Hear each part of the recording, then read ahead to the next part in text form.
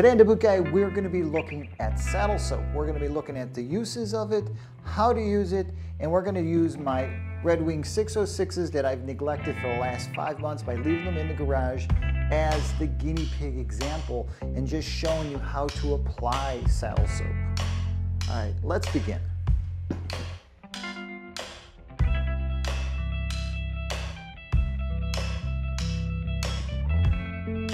So like I said, we're gonna work with my 606s. These are my old work boots. I've left these in the garage for the last five months, all through the winter. I truly have neglected them. They are dried out.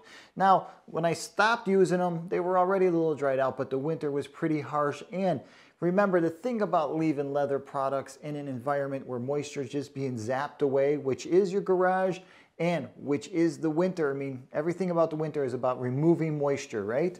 So these could really use some TLC. Now the saddle soap I'm gonna be using is Armstrong's All Natural Brooklyn Saddle Soap. Now this is good stuff. This is a real natural product. This isn't like the stuff you're gonna pick up from your local drugstore or wherever where it's got a lot of other heavy metals and dryers added to the saddle soap. This is an all natural saddle soap. So basically what that means is that the two major ingredients is gonna be lanolin and beeswax. Lanolin, super important. It's an animal product. It restores dried out leather to a more natural state. Now, it's not gonna bring things that are completely dead back to life. You're gonna need other types of creams and things like that. But when it comes to doubling the use of an old pair of work boots, a really good saddle soap is something that you can use for that. Now, when most people talk about saddle soap or think about saddle soap, the one thing that they're thinking is that it's just for cleaning. And though it makes a great cleaner, it is an elbow grease leather cleaner. What I mean by that is you really have to work saddle soap. It, it will get leather clean, but you really have to put a lot of muscle behind it. It is not a quick fix. When you have something that you love, and I mean really love, that's made out of leather, and you use saddle soap with a cloth, it is going to look beautiful when you are done. Now, for the demonstration, I have a few tools, I have a few things that I'm gonna be using. I'm gonna be using a shoe brush in order to just brush off the boots before I get to adding saddle soap to them. Really important, this is one of those tools that you need to have in your repertoire of boot care products. If you don't own a boot brush, get yourself a boot brush, especially when you spend a lot of money on footwear. If you enjoy buying better, handmade footwear, having a boot brush around just to keep them clean and just to move some of the oil around from one place to another is a really good tool to have. I'll be using the saddle soap from Armstrong's and to apply it, I am going to use a cloth. I'm not gonna use an applicator brush. Now the applicator brushes are wonderful. This is a great tool to use. If you don't like getting your hands dirty, and I mean truly getting your hands dirty, if getting saddle soap on your hands or under your nails is something that you just don't want to do, use an applicator brush. But if you can look beyond that, get your fingers in there. Take your saddle soap, move it around with your hand, get it in there, get a feel for what the material actually is. And also important is to have a glass of water on the side. Use warm tap water.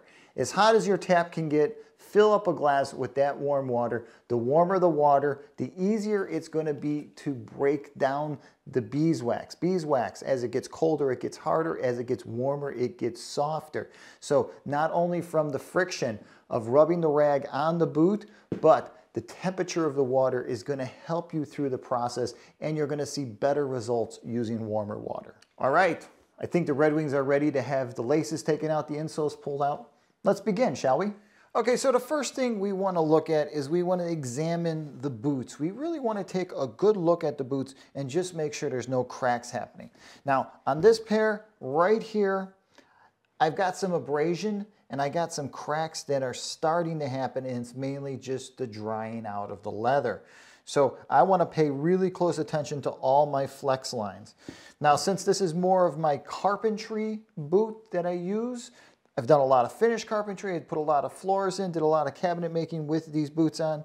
So this boot is actually being exposed to a lot of sawdust and sawdust is another harsh material on leather products because sawdust just pulls moisture out of everything it sits on. It absorbs the moisture. So this boot really needs some saddle soap. It really needs some TLC. Now, once I'm done with this, I'm gonna bring these boots out to my old man's house. We have the same foot size, so we're gonna be able to share this pair of boots. And like I said, there's a lot of life left in here. The sole's a little worn down, but the 606 from Red Wing is a great boot. It really does last a long time.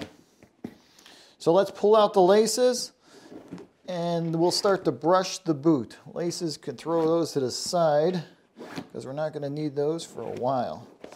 Now, for this boot being about three or, well, this boot's four years old, I think these are still the original laces. I'm really impressed with Red Wings laces over the last five years.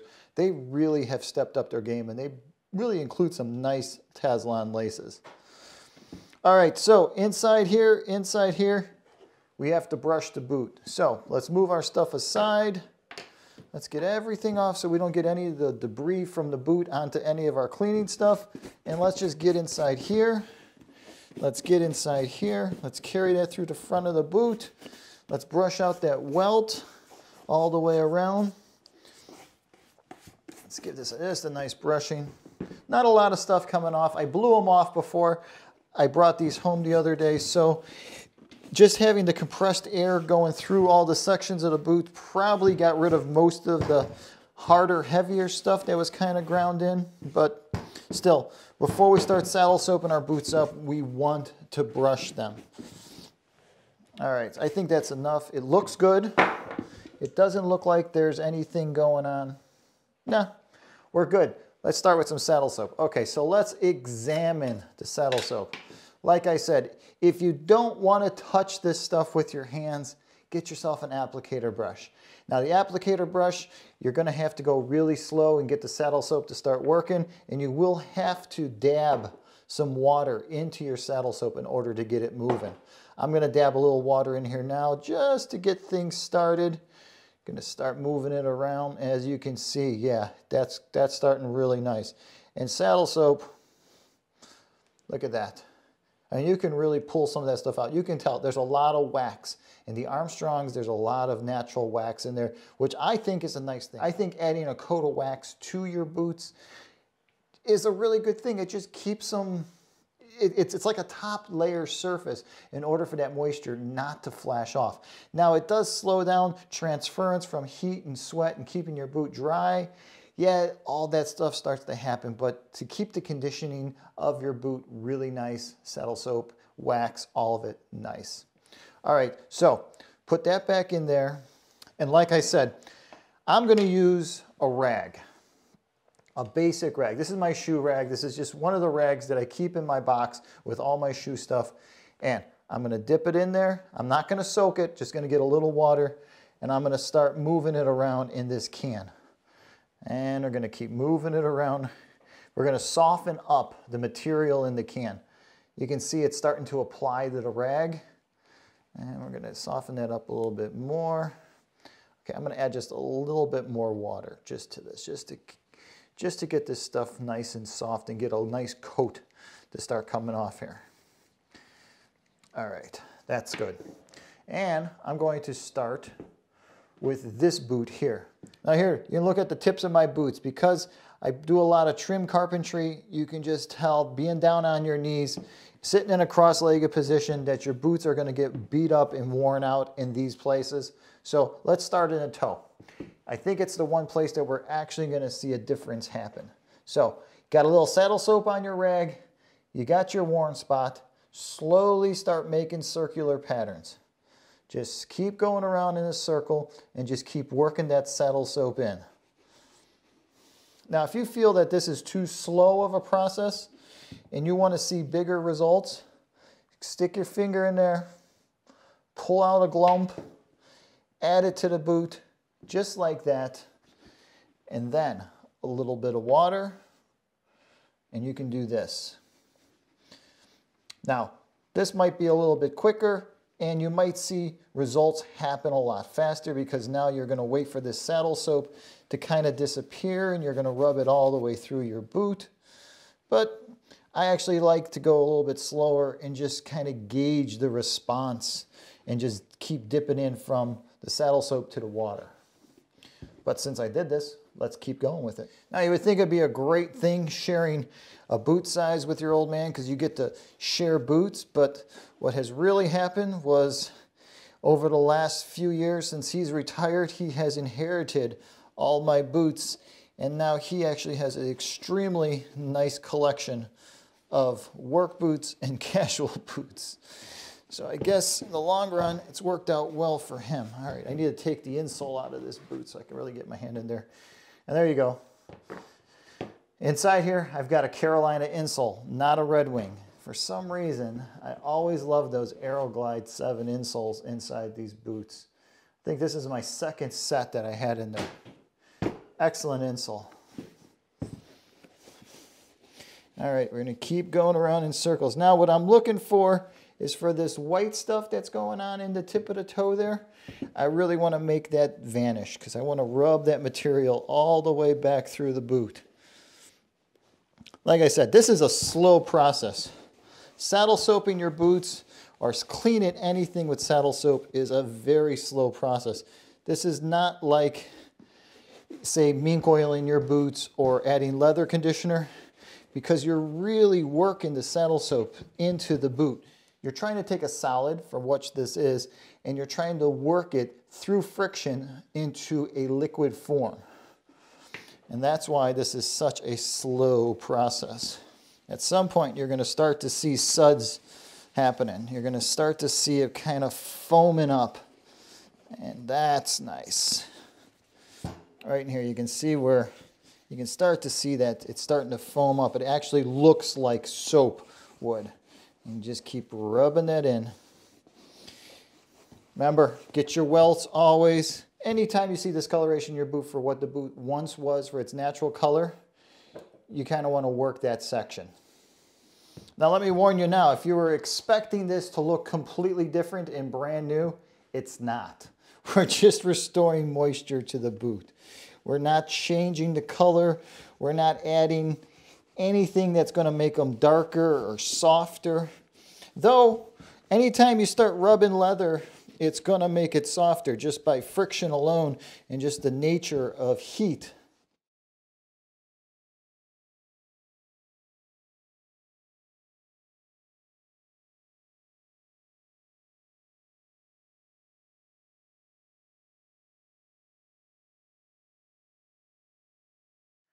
Now it's hard to tell on camera, but it is a darker shade now. It has a lot more shine to it and it does just look a lot better. The leather feels better. It feels like there's a coat on there where this just feels like old dried out leather. This has a nice sheen to it, a nice softer feel to it.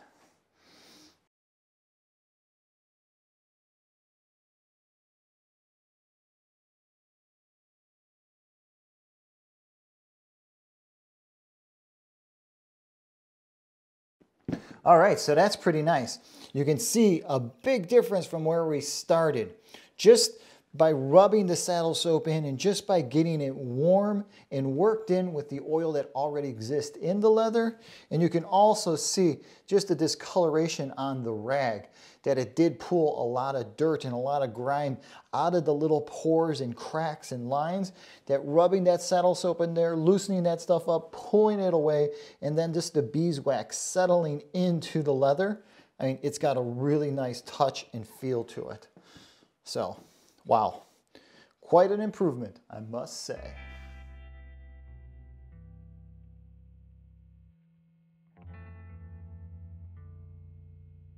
The results are exactly what I was expecting for saddle soap, especially a natural saddle soap like Armstrong's make. It, the boots look exactly like I expected them to. And you gotta remember, the whole process of cleaning your boots, of reconditioning your boots with saddle soap is not a quick process. It's probably gonna take you anywhere from 15 minutes to half an hour, depending on the conditioning of your boots. And if it's your first time actually cleaning your boots and reconditioning your boots with saddle soap, it's a labor of love, so just sit there and enjoy it. Enjoy taking the time to really look over your boots because they're your boots. You bought these, you wear them every day. Either they make you money or they get you to where you need to be. So you might as well love them and care about them. Hey, if you enjoyed this video and you want to know more about Armstrong's All Natural, please swing by to bootguy.com. I will have links to all the products that I use today, and I will also have a video about mink oiling and reconditioning your boots from a really dilapidated state. Hey, if you enjoyed this, hit that like button and subscribe to the channel. Also remember, comment below if you're somebody who's got a better way of saddle soap in your boots, please comment below. Let us all know what you're doing in order to recondition your old work boots. All right, if you got any questions about saddle soap in your boots or if you just want to know some of the other products that I use for my boot care maintenance, remember you can always shoot me over an email. All right, until the next time, I'm the Boot Guy. Thanks a lot for watching.